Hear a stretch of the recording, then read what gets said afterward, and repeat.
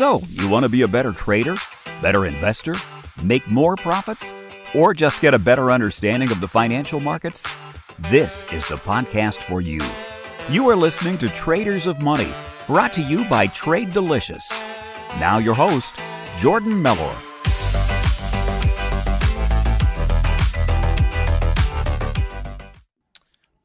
I deal with a lot of traders day in, day out at the firm. We work with a whole range of, of from day traders to scalpers to swing traders. And probably the most prominent issue that traders are having, or at least that I notice, is on the psychological side.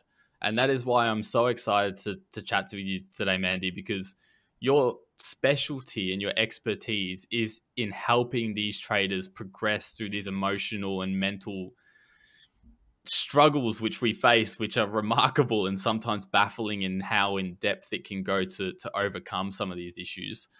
What is it about performance coaching that just seems to hit the nail on the head when it comes to trading? Because most other careers they seem to be pretty cruisy when it comes to to mental side of things, but trading just unlocks the door to, I mean, a whole new jungle.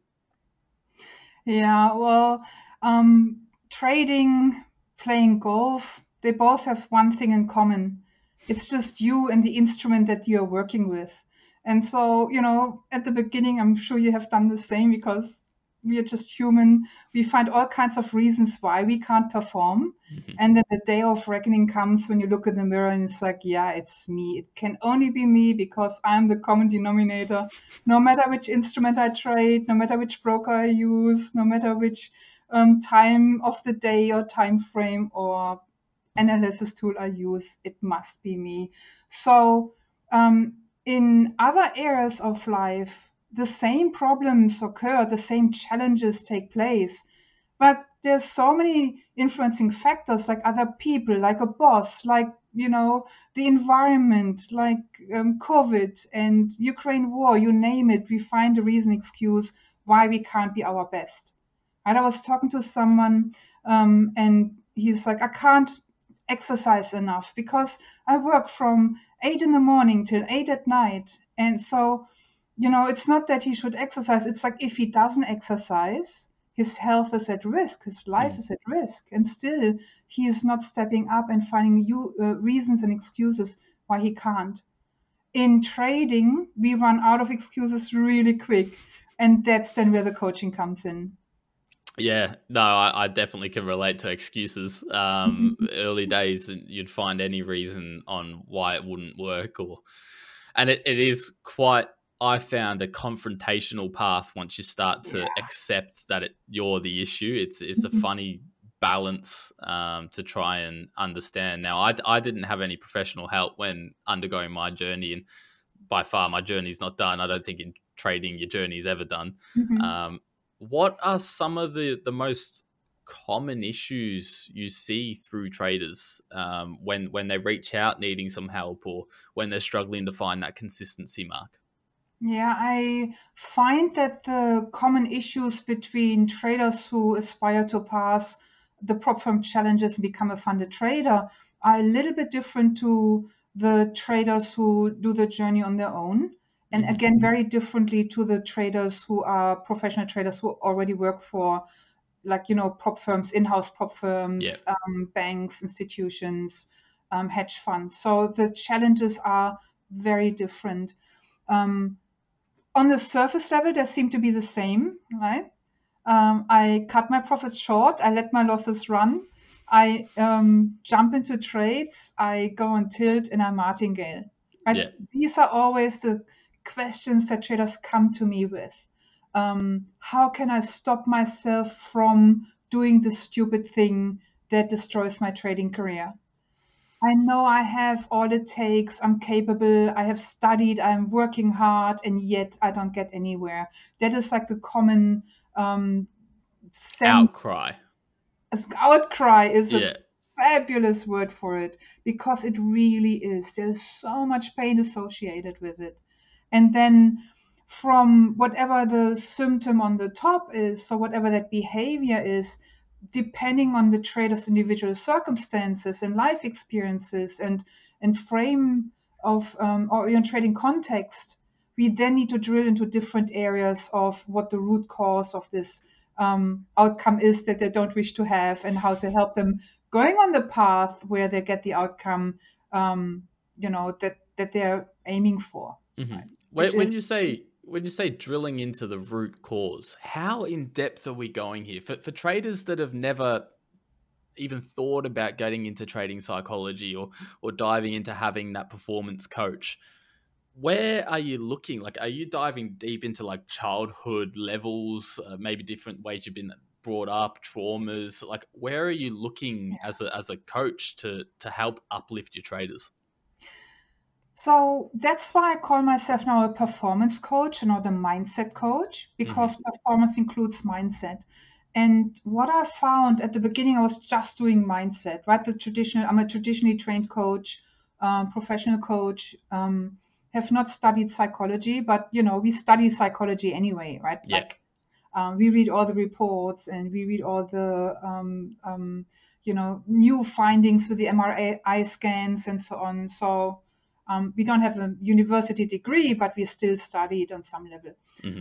So um, I solidly looked into what is it that um, causes traders not to perform. And we know the traditional um, neurolinguistic programming um, model of communication where we have heaps of information coming at us. And then the brain filters out all the information. Depending on what um, article you read, it's 2 million or 20 million or 200 million of information. Doesn't matter, right? It's a lot of information. But we also know that our brain can only process a small amount. I think they call it seven chunks, which is like um, tiny compared yeah. to like a drop in the water compared to an ocean.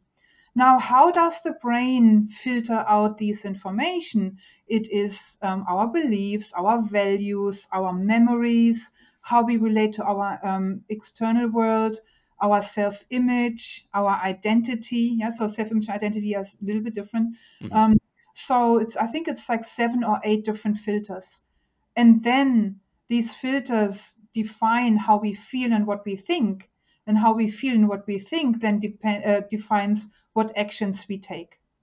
Yeah, so that's the traditional um, approach of coaching. I found that it took me a long time to get my traders to succeed.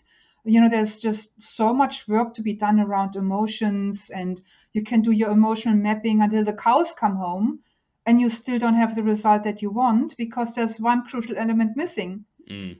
Sometimes it's actually not a mindset problem, but it's an self image identity problem because they feel so bad about themselves that they think it's a mindset problem.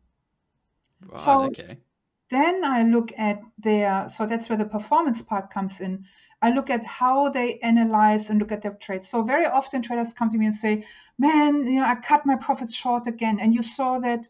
Actually, I had a trader coming to me. Um, la- was it last week? Well, I think it was last week. Mm-hmm. So the Dow did a double bottom, and then um, there was three sideways days um, after the first big day up, and he closed his long, even though he was saying that's going to be a double bottom. But then it was like a doji candle and um, three sideways days. He didn't trust himself anymore. Convinced him his out. way out of the position and then you know what happened, right? 2000 points later. Yeah. Yeah. and he's so angry and frustrated and in, in enormous pain, outcry. Mm. But that wasn't a mindset problem. It was partially a mindset problem, but most more so, he did not know how to distinguish between a um, um, reversal pattern and a mean reversion, or when the market is making a pause. Mm. And so that's where I started. And and I'm like, if you know how to distinguish between those two behavioral patterns in the markets, how do candles look differently? How do your indicators behave differently when you have a reversal compared to a mean reversion? Only if they know that and they still don't follow their plan, then I look into mindset. And I found the results are much faster. Interesting. So you see a lot of people outcrying um, in in help because they feel like they're self-sabotaging or they feel like they're not getting to where they want to be because of their mindset or because of their emotions but realistically sometimes it's just down to the technical aspects on on their Yeah. actual trading plan and how they're trading it. It's you like before you even get to that emotional level. You find that a lot. A Yeah, wow. lot, a lot. And um, so they're crying out loud. yeah. and what leads them to this um, behavior and thinking that it's them, it's their negative self image, right? So often what I do with it hand in hand, I and they don't know about that, right? I do that on a subliminal level, a little bit sneaky. I teach them that they actually um, are better than they see themselves as, that they're more capable, that they have more resources. So I was working with a trader yesterday, and he's like, I said to him, you know, what does lo- losing trade mean to you? And he's like, man, you know, I always screw up. I can't trust myself. And I was like, yeah, I can see that, you know. 15 times the same mistake over and over again. I get how you feel like that about yourself. But what is it that you can trust in yourself? And then we came to that he is resourceful in finding help and working through his problems because he has a very screwed up childhood, you know, and and um, the behavior patterns that he showed today were due to what he was conditioned at in childhood. And no wonder he has this negative self image. And so teaching him that he's actually not as bad as he thinks he is came with, hey, you know, the only thing is look at your indicators. What do they look differently here when it was a reversal to here when it was a mean reversion? And so that for them is less confronting than needing to go back into childhood. hmm Now, if that is not enough, so they know what to do but don't do what they know, then we go into childhood. Yeah. Then you start facing the hard rocks. Yeah. Yeah. Yeah. Yeah. No, that's that's it's fascinating to understand how you can you can break down essentially and analyze a trader's performance and, and find out exactly whether it's an emotional issue, whether it's a childhood issue, whether it's a whatever it might be, um, Yeah. even down to self image from you're just doing the technicals wrong. You're just not trading right, and you've got to find that balance and then and then rebuild them once you discover that. It's it's very fascinating to me. I, I- I love chatting about this type of stuff. Um, when it comes into like prop firm traders as a whole, I understand you do coach a couple prop firm traders or, or aspiring prop I had traders. so many recently. Which What- is exciting. I love it, right? Yeah, yeah. What what do you see as you mentioned before? There's a big difference between your retail traders, your institutional traders, and then your your, your online prop firm traders. What are the challenges you're noticing within these these prop firm traders that they're facing? Where where are the struggles and and is there is there a common struggle within there? Yeah, yeah. So two common um, patterns. So one is, um, and I did a lot of research also on your website. I think it's phenomenal what the 5ers did there in terms of um, posting on how traders actually succeeded in the challenge. There's one common denominator. They all have a equity curve that goes steady up. Hmm Now there's a few who have a little bit like drawdowns and then a steady up. I would be interested in if they managed to stay in the challenge or if they got kicked out in the second or third round. But that's a different conversation to be had. So when we look at um, passing a challenge, all it comes down to is knowing your numbers and Yep. keeping your risk at 0.25 or half a percent at each and every trade. This That's this music to my ears. I preach this day in day out. Yeah. Um, you, know, you get people reach out being like, "These drawdowns are too tight." Well, No. you can adjust your trading to reach the drawdowns to match the drawdowns. And yeah, so Yeah. this is this is music to my ears to hear you reiterating the case. But I totally look- agree. a friend of mine, Tony Sycamore, um, he's on Twitter. He's a Sydney boy. Um, so he, maybe you want to get him on his podcast, and your podcast, he's amazing. Um, he used to trade as a prop trader for Goldman Sachs. Okay. And I speak to him a lot. Like, how was it at Goldman Sachs? And he's like, 6% drawdown, you're being kicked out, no questions asked. hmm So what Goldman Sachs did with their traders is exactly the same how the prop firms now set up their challenges. So some have 4%, 5%. It doesn't matter, right? There is 6% is not so far from a 4% drawdown. hmm hmm But what it is, what Goldman Sachs did, they said, you can have any training that you want, that you feel is going to help you. Um, what is also different when you um, trade in a in a prop firm, and is something that you guys create as well. So when you go into a prop firm and you learn in a prop firm, so this conversation I had with Tony, he already had people in the room who were just amazing. Like they would get their bonuses and would go down the road and buy from their bonuses a Ferrari. Mm-hmm. That caliber of traders. So they knew that it's actually possible. And I find a lot of retail traders, they they ask me, is it really possible to make that much of money? That much money? Is it really possible to succeed in trading or is it all a scam? Mm-hmm. So they don't have any reference of what is possible and what not. Whereas when you learn in, in an institutional environment, you already have that. Yeah, you're surrounded right? by it. Yeah. Yeah. So you come in with a completely different mindset, a possibility mindset, because you see the proof. Mm-hmm. Yeah, and, and that can fall into motivational aspects. That can fall into, I mean, a whole range. And that yeah. kind of leads me into a, a, conversation topic I wanted to have as well, which which I was talking to a trader about. Um, I think it was a couple weeks ago. With that same aspect, is is it really possible? Can I get to these levels because they were driven or at least muffled by social media?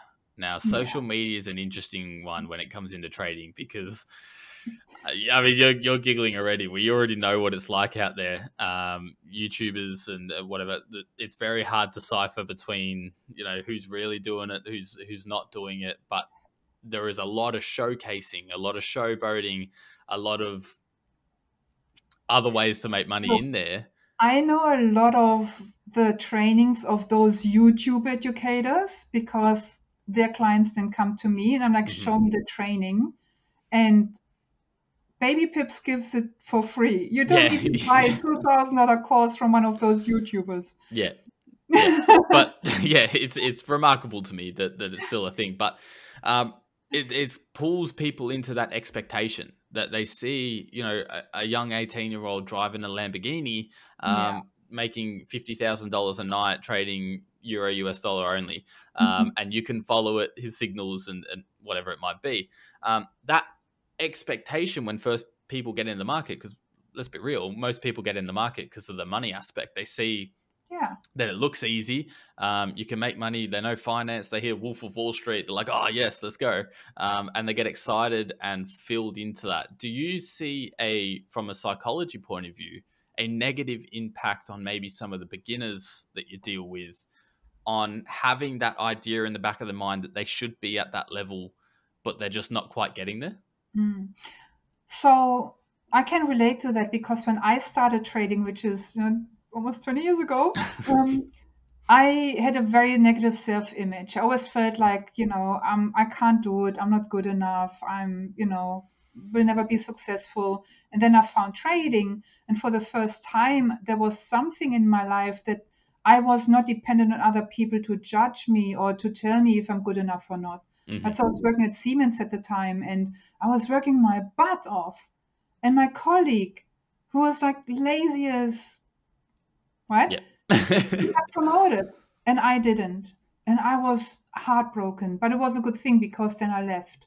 Mm-hmm. And and and I, I decided I'm going to change my life. I'm not going to put up with people deciding of what I can do and what I'm not capable of. And um, that started a whole new journey for me. But when I found trading, I thought, wow, I can now become successful as well. And then, of course, you know, it was July, I remember that. And I thought by the end of the year, I'm going to have a Ferrari in my garage. I think and we all I'm fell for that. To show my family how they underestimated me. Mm-hmm. But seven years later, I had yeah. finally, you know, started working through all the childhood drama and, you know, my neuroticism. And I was finally able to actually start my trading journey. Because you have to imagine when you had a traumatic upbringing, what happens for most children is they get emotionally um, I think the word is disturbed. I think it's a little bit too too strong, disturbed, but they get emotionally impacted in such a way that their rational, logical thinking doesn't work.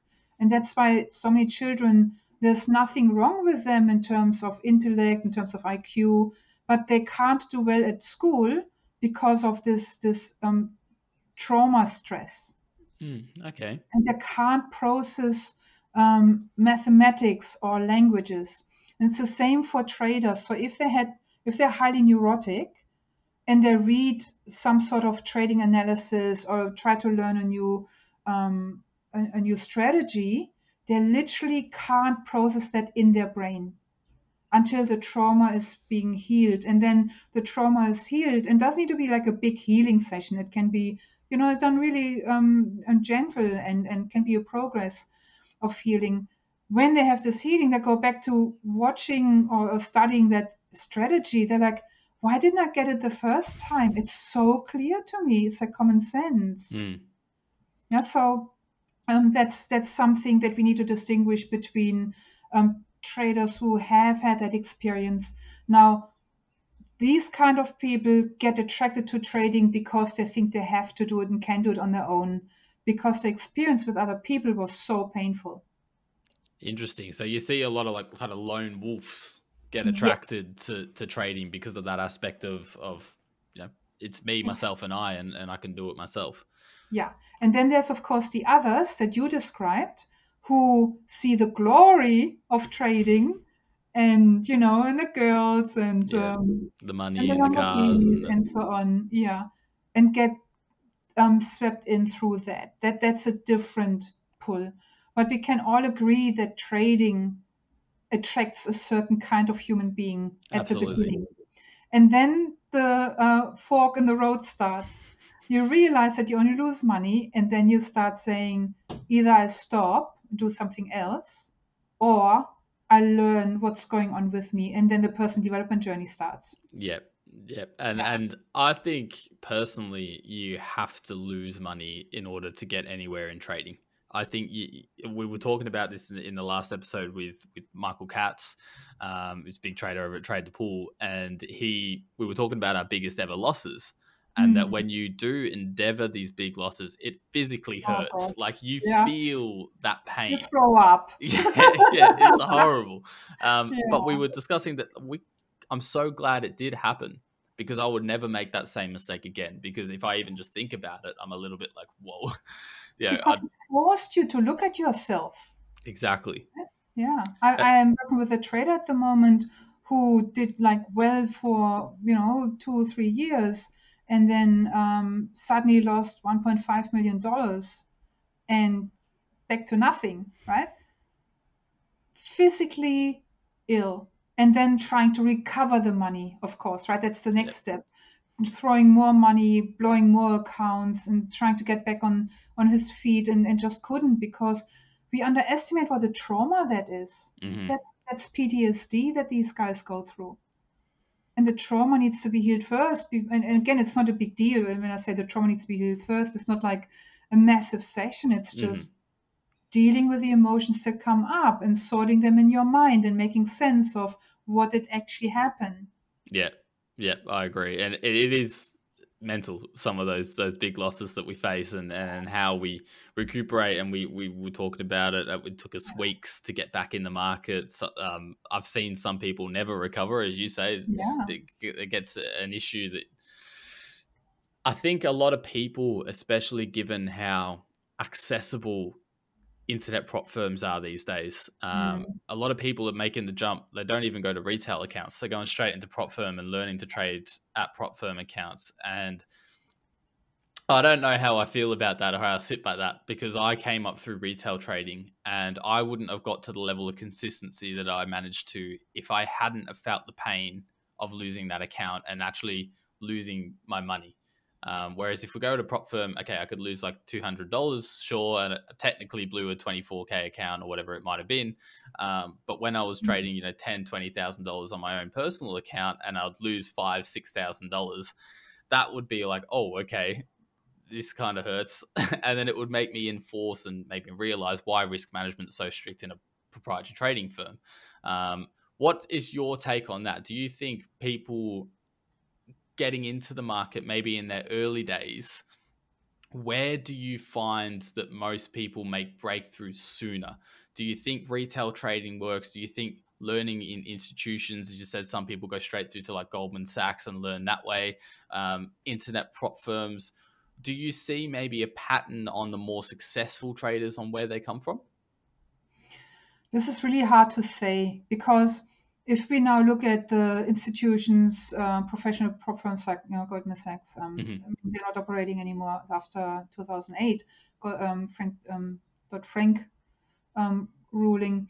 Um, or very, uh, they have a very stringent, uh, stringent um, selection process, and they already filter out the guys who will not make it. Mm-hmm. And the guys who they thought would make it but don't make it, they're out within a few months. They already see that. So we don't know how many people apply for those jobs and then actually don't make it through. Mm-hmm. So we don't have any, have any data on that. Um, retail, again, it's the same. We don't have enough data. I mean, we know that 90% of traders are failing, even though they say now it's 75%. But I think there's a little bit of um, um, um broker pushed in that number. yeah, exactly. Yeah, yeah. yeah. Um, so we don't know what the numbers are, but the thing is, you you can lie to yourself because no one sees your accounts. Mm-hmm. Now, when you look at the prop firms now, I know traders who have spent ten thousand dollars, and not just one trader, like a lot of traders. Uh, when I say a lot, I'm, I mean I personally know like six or seven have spent several thousand dollars on those challenges. Mm-hmm. But then there's another way of avoiding responsibility because, as you said, you know, I can say in my mind, oh, it's just another $200. But they're avoiding to actually go into the real market with their own money and face that pain. Mm-hmm. Yeah, so when they're in the online prop firm, they can always say, well, I didn't make it because their risk management is too strong, too strict. It's their fault. Yeah. Or someone said to me, Well, I want to prove to myself that I can make it in a prop firm. And until I make it in a prop firm, I will I will not trade my own account. And then I said to him, So what's the expectancy of your um, strategy? And, you know, blank look. I said, What's the number of um, um, losing trades and winning trades in a row? Blank look. Yeah. So it doesn't matter where you start. Prop firm, your own retail account institutions again are different that you have a different start there they start you mm-hmm. slowly. If you don't know your numbers you will not succeed and you and i we both know that most don't know their numbers. They don't know how to go about um, setting themselves up for success for that prop firm. They do exactly what you were saying. They're like oh online prop firm is just $200 i'm not wasting much money or i don't have much money. And then they get hooked. They lose their $200. And then the same happens like in trading. They go on tilt, prop firm trading. Yeah. I want my $200 back. Let's do another challenge. Oh, now it's $400. I want another challenge. Yeah. And in no time, they're in $10,000. So the tilting behavior is exactly the same. It's just now the fee that they pay for the prop firm. Interesting. It's interesting. It's a different, different um, outlook going into that knowing your numbers, uh, absolutely. Uh, if you don't know your numbers, you shouldn't be taking any type of restriction challenge of, of any kind, in my opinion, because how do you know where to position yourself and how do you know whether it's yeah. passable in the first place? You know, there's, there's some firms, they have a whole different out in the industry, different requirements. And I know for a fact, the whole reason I, I got, in case you didn't know, I got funded at the 5ers before uh, becoming an analyst at the 5ers. So I was already a, funded trader there. Yeah. Um, the 5ers was the only one that realistically I looked at and went, yes, I can I can get through that. The the expectation of, of profit targets across the market were a little bit too high out of my numbers. I would have had to gamble a little bit um, and essentially hope for the best. So I had to rein that in and and get an understanding of whether or not I was able to pass it. I deal with some traders that reach out um, and asking for help in the analyst meetings. And some of them don't even have trading journals or any type of mm-hmm. statistical run through where they can actually look back on their trades or they can predict looking forward of any kind. Do you when it comes down to trading journals, I'm big on trading journals. I've I've got like a six sheet spreadsheet, um, tracking everything from emotions to P and L to to what the setups look like. Is it something you run through with your traders as well? Do you see benefits in trading journals? Yeah, absolutely. Um, I mean, the the the negative aspect of trading journals that I see is that a lot of traders use it just as a brain dump and to whinge and complain about themselves. Mm-hmm. And um, because it's just like half an hour brain dumping, which has its place, okay, or heart dumping or outcrying. Yeah. Um, but then there's nothing that they can filter for in order to get feedback on how many times they made that mistake. Right? So I see a lot of traders that come to me with that kind of journaling. I'm like, that's not journaling, that's whinging, Mm-hmm. right? not helping. Um, makes you feel better in the moment, but it doesn't help you to change your behavior. So um, I it depends on what kind of trader I'm dealing with. When I have someone who's highly neurotic and thinks there's something wrong with them, I tend to step away from them um, journaling their emotions because they already do that so much. Right? All they talk about is their emotions, now they got annoyed and and um, how they are losers. So I want to balance that out. And often the traders were hyper emotional, so neurotic, um, they don't have access to logical thinking. That goes back to what I was saying before some sort of trauma. They can't think logically. Mhm. With those guys, I ditch emotional um, journaling completely and I get them onto statistics, metrics, you know, what we just said number of losing trades in a row, number of profits in a row, profit factor. Don't worry about your profit loss ratio. I saw some of your guys when I did my research for today. Uh, one guy he had like a 30 70 win loss ratio. Mm-hmm. So he lost 70%, but his equity curve, beautiful, smooth. By the way, Tony Sycamore's equity curve, I saw that. Beautiful, smooth as well. Half a percent stop loss. Here's this big guy, right? Half a percent stop loss, no wild swings. Yeah. Um, I also asked um, Alba Capital, so um, Steve Deacon, on um, so Alba Capital on Twitter. Mhm. He traded for Paul Tudor Jones, and I asked him, so what was it like in terms of risk management? Guess what Paul Tudor Jones has? Five percent Five percent risk, or a five percent max drawdown overall. max drawdown. Oh, right. Yep. Yep. Sorry, I misunderstood that. Yeah, yeah.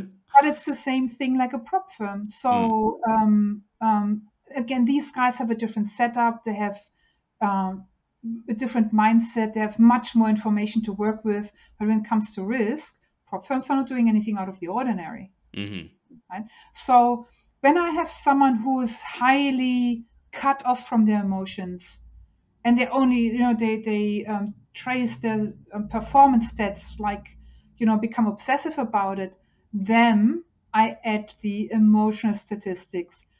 How did you feel in that moment? I don't know. What do you mean?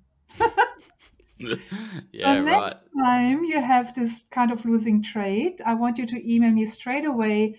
Where in your body do you feel a reaction? Is it in your head, in your shoulders, in your chest, in your tummy, in your solar plexus, in your legs? Where is it?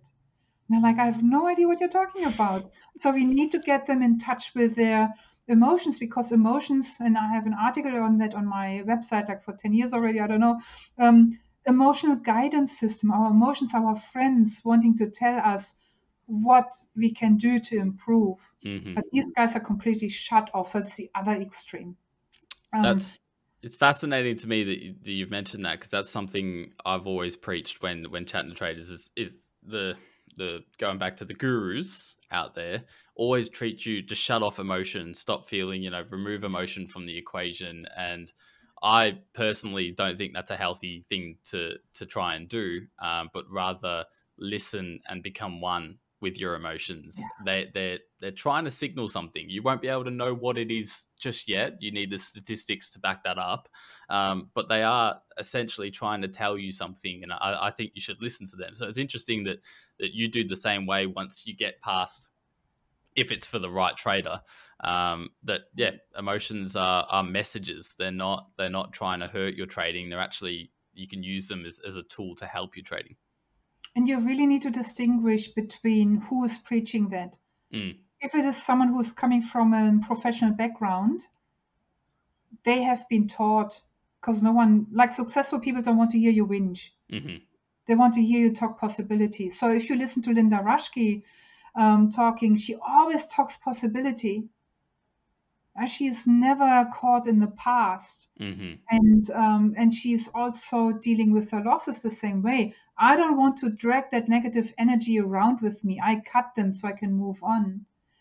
If you take a losing trade, so I'm talking about the bad losing trade, not Mhm. ones that are normal, into the next day, that skews your ability to think clearly, and you miss out on amazing trades, and you dig yourself a bad, you know, Yeah. hole, and you can't get out of it. So cut it, get on with it, and create a new future. That's always how she talks. She never dwells on what she did wrong and how she was, you know, um, how she did that mistake and what a loser she is because she did my mistake. Never. She's like, damn it, I made this mistake. And and she doesn't even swear much, right? She's just like, damn it, I made this mistake. And then, you know, half an hour later it's forgotten. She's already focused on the future. Now, that is a skill that can be learned, but it's actually already something that's inherent in us. So when we do a Myers Briggs or a disc profile, um, we can see, and I do that with my traders a lot, so I can cut down the coaching hours. Like, you Mhm. know, I want to set my traders free. I don't want to have them hanging off my skirts too too long. I like my own freedom, and I don't want to have a big group that I'm working with. I want to work with just you know a few selected traders um, because I have so many other things I want to trade and enjoy my life and not run a big coaching practice. But um, so the thing is that you can cut down using those um, assessments like as at Myers-Briggs and, and DISC and, and um, oh, um, the Big Five, right? Um, the positive thinking one. They are the ones that I usually use. And when I have a trader who has a certain um, outcome with those tests, I already know um, they are stuck in the past. They they have a mistake. They make a mistake. They get super annoyed with themselves. They go into the self-destructive self-loathing, and they can't get out of that. They just think about what they missed out on and how they screwed up. And then there's others who easily shift their um, focus back forwards to the future and leave that mistake in the past. They don't need to talk about it. They don't need to work through it what they did wrong. hmm And so when you know that you are someone who gets caught up in the past, usually it's the ones who are on the neurotic side, you can practice shifting your view to the future and leaving the mistakes in the past. So how that looks like is someone who makes a mistake who lives in the past wants to fix that mistake. I was in a profit. I'm a week away from passing my prop challenge. I've been doing really well. I made a stupid loss. I need to fix that. Mm. Otherwise, I might fail the challenge and I all my dreams go up into hot air. And trader who is looking to the future is like, damn it, I made this mistake. Wasn't really what I was supposed to do, but that's okay. I have another week. I know I'll do better. hmm I just need to follow my strategy, what I did in the last three weeks, and then I'll pass. Yeah, so Interesting. you see the difference in thinking hmm and feeling. yeah, yeah. And do you? How would you go into helping someone who is stuck in the past? Yeah, so it all starts with language. The only thing that we have control about is our language. And so our language, which which is a self-talk and also what we communicate out loud, is um, closely related with our feelings, how we feel, and both together then determine the actions we take. So when I have a trader who's like, I'm such an idiot, um, how could I? Back to that negative self-image Yeah. piling up. Yeah. Yep. then I explain to them what you're doing is you keep describing the past, blocking off the future. What you want to do is you want to describe a new future. Okay, so you made this mistake. Say it out loud once because it needs to come out, right? It's like a pimple, it needs to get Mhm. out. Um, and now what you do, once you have said it once, and you know what's also interesting is they then go and tell the whole world about it. They go shopping with it and they keep people hostage with their drama Mm. conversations. When you have that in your room, shut it down straight away because it drags everyone down. go into possibility thinking. I made this mistake. So, what can I do about this? Right? What can I do to um, um, improve that conversation? Simple, Good. right? It's, it's kind of that that outlook of everything's an opportunity. Everything's an op- be op- opportunistic when you have these type of things. Okay, it happened. Let's move from now. It's kind of like a a business management point of view. It's like, okay, Yeah. yes, we this happened. It doesn't matter. It is what it is. How do we move on? How do we progress? How do like what's next? How do we fix Um, and same, you you think the same thing is very beneficial in in trading. Yeah, absolutely. I always say if you could have done better, you would have done better. So if you had a series of losses, simply means that you could not have done better. So let's have a look at that. Interesting. that's where I start with the thinking. I need them to start taking responsibility. Mm, And then, you know, again, it depends on um, looking at so what emotions are um, prevalent. So when you have, for example, the emotions in the solar plexus, that is always the fear of losing control. So that's coming from a kinesiologist. Um, if you have the feelings in your chest, that is, um, sorry, the other way around. Solar plexus is not feeling good enough. When the feelings are in the chest, upper chest, then um, it's feedback that we feel fear of losing control. So already when I know where those feelings are sitting in the body, I can make a very educated guess of what happened and the re- direction where we have to go. So I was working with a trader yesterday doing the prop firm challenge. Three times he passed once, Mhm. three times he's blowing up in the last week, and um, stuff happens like his platform freezing, um, computer having a meltdown. He needs to buy a new computer, and he's in a position. The prop firm he's with, he doesn't have um, access on his phone. So the Mhm. only way for him to manage positions to call into, um, so he's in Europe, but the only way to call is uh, call into America, and um, like or you know do it on the on the computer. So he Mhm. couldn't manage his position, bombed out. Um, so then he gets really super angry, and he's been from coach to coach to coach and improved a lot. But then I, I, I think I got to the results so quick with him because he had done all the work already. Mm, Right? If I had started with him from scratch, it would have been several sessions. But so then I said to, I asked him questions, and every time he gave me a really super defined answer.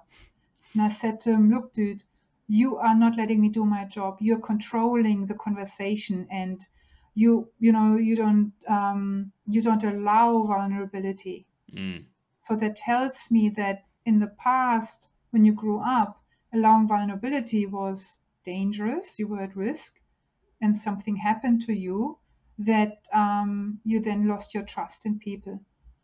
And he was like, oh, okay. and then I said to him, okay, again, let's try again. When you have this happening, what's coming up for you? What feeling? And he immediately said sadness before it was like all these defined answers like um, yeah i feel like i'm not good enough and um, i feel like i'm screwing up my future and i knew that was just bullshit he was feeding me mm. he didn't know he was feeding me bullshit though yeah. This automatic protective mechanism. And i said sadness i actually feel grief. I said did you lose someone really dear to you? He said yes i lost my grandfather and that was the beginning of mayhem in my life.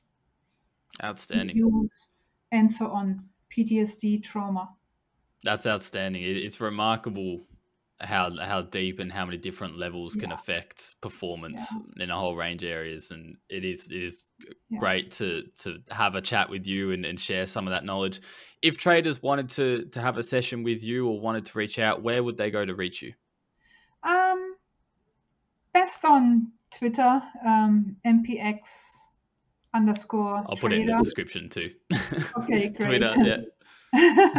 or through my website. Uh, I have two website trading websites: tradingpsychology.com.au and um, highperformancetrading.com.au. Um, I moved to high performance trading. As I said, I changed my coaching approach. Mhm. Um, but I have trading psychology since 2006 now. And, and there's some trolls on Twitter like, you are not a psychologist. Why do you have this website? And I'm like, oh god. There's always some. Right? There's always some. Yeah. What's next for you, Mandi? Where, where's Where's Mandi in in both? That obviously I know you still trade as much as possible when you can. Um, yeah. Uh, where's your trading career taking you? Where's your trading coaching? What, what's next for you?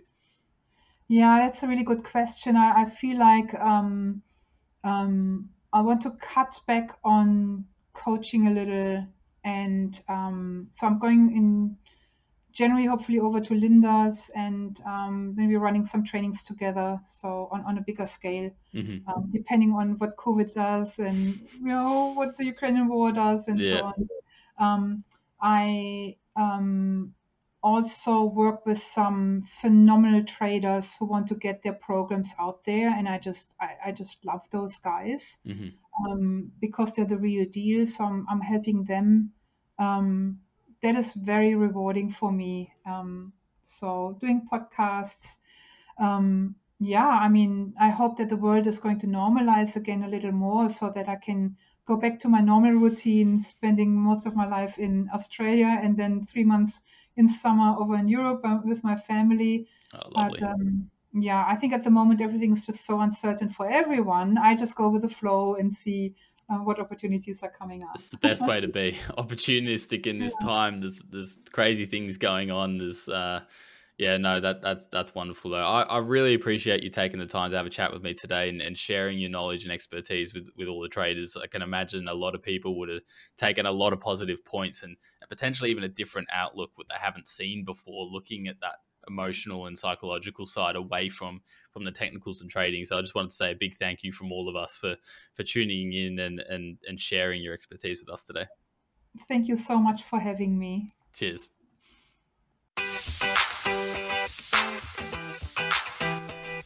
You've been listening to Traders of Money, the podcast that helps you better understand the financial markets, become a better trader, better investor, and be more profitable.